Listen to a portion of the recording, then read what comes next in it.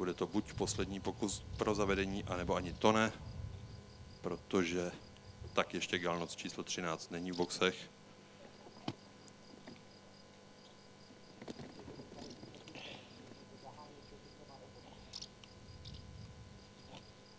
Kromě Party Star koně v boxech.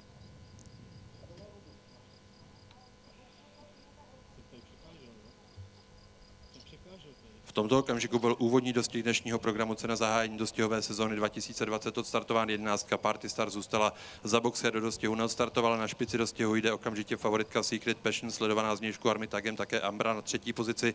Dále pak čtvrtý podél bariéry Polish King za ním následuje na páté příčce Habit of Beams ta se teď posouvá na čtvrtou. V Něžkem je tam Hudson Hornet na šesté a Rebel Darnu na sedmé pozici.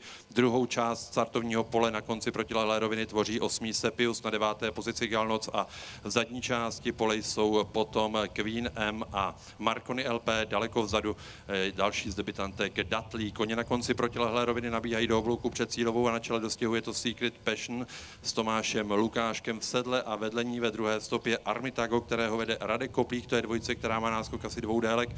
Na třetí Ambru, na čtvrté pozici pak následuje Polish King, pátá je Rebel Darnu, šestý bude točit do cílové roviny debitant Sepius, za ním sedmý Hudson Hornet. Koně ve finiši posledních 400 metrů do cíle dnešního úvodního dostihu na špici od startu u bariéry Secret Passion.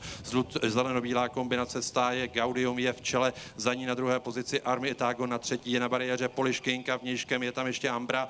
Nicméně 150 metrů před cílem je, zdá se ovšem rozhodnuto a zdejší debit promění v jasné vítězství Secret Passion s Tomášem Lukáškem v sedle. Secret Passion jasně vítězí Polish King nakonec druhý, Marconi LP finishem třetí, čtvrtý Armitago a pátá Queen M.